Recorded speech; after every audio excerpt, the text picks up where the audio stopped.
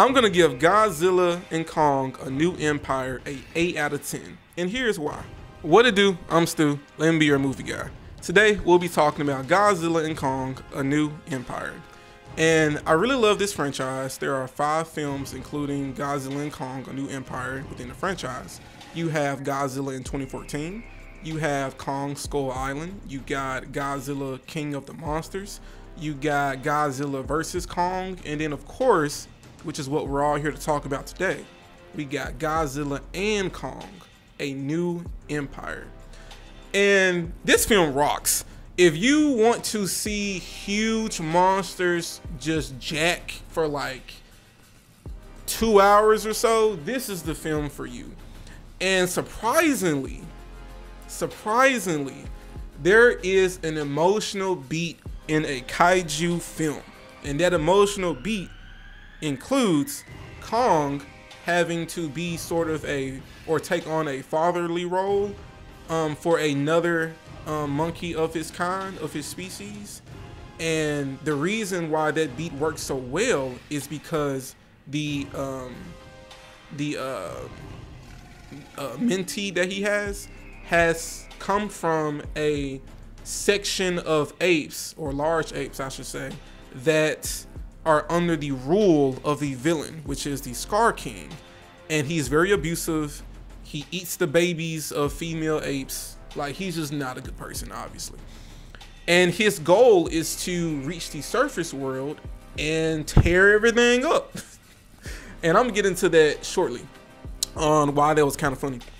Uh, so seeing Kong interact with this very, very much younger um, ape teaching him the ways of like mercy and forgiveness, which is something that that ape that he's trying to mentor did not grow up in that kind of environment.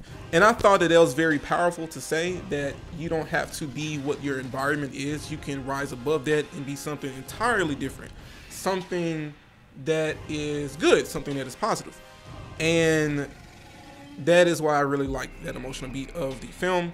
Um, in terms of like what Godzilla was doing in the film, I'm not gonna lie, I was rolling because Godzilla is such an on-site type of character. He's literally prepping for the invasion of well, he doesn't technically know what the invasion is, but he feels something of immense power coming um, to the surface world. So he is prepping, and do you know how he's prepping? He is going from kaiju to kaiju and beating their tails. He is bullying people.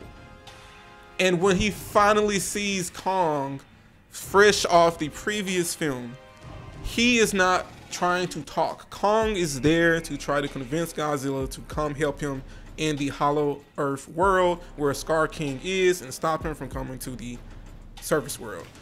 And they are scrapping for about two minutes um, Godzilla gets his lick back quite a few times, but ultimately, you know, you've got this giant lizard that has atomic breath, so you're not gonna beat that. As much as I love Kong, obviously he cannot beat that. But he got he got his licks off, so that was great. So once they finally get Godzilla to the Hollow Earth, and they're like scrapping with uh, all of Skar King's people. I mean, with uh, yeah, with uh, Skar King.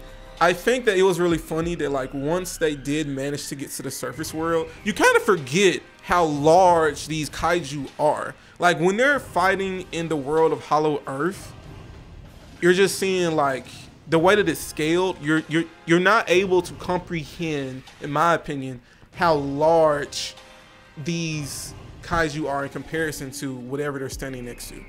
And that's very much highlighted. That's why I was talking about earlier that it was kind of funny. That once they get to the surface world, it's like, oh dang, Skar King is like huge. He's not a regular sized monkey. Like this is a gigantic, evil monkey. And to see them finally on the, on the surface world, I feel like that was really my main issue with the film was that it didn't give for most of the film it didn't give you a very sound understanding or picture of how large the kaiju are in comparison to everything else that they're around, including humans and buildings and trees and everything of, of that nature. Um, but with that being said, I thought that the film was pretty solid. Is like even though it's like a popcorn flick, as I've seen a lot of people say, it still has heart. It's still very entertaining. I would probably classify it as a family film. I think this film would be great for a family going to see it on a Saturday afternoon um, because you know it's nothing but great action, great scenes. Um, the music was pretty good. The cinematography though is was great, and that is something I really appreciate about these films. Like from Godzilla in 2014 to Godzilla and Kong: A New Empire, the cinematography has been consistently great.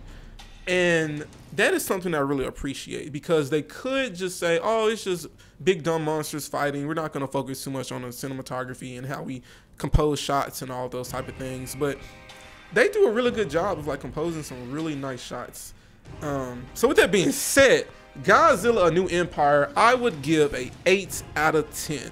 I'm taking two points off because of that scaling issue, and I personally would have liked to have seen a little bit of more Godzilla in the film because they kind of led on that this would be more of like a buddy cop film. We'll see Kong and Godzilla like doing this together throughout the film, but it's more so like the last 30 minutes or so. So I would give it an 8 out of 10. But let me know what you thought. Um, as always, subscribe, drop your comments down below. Are you going to see the next film, whatever it's going to be? Let me know. Peace.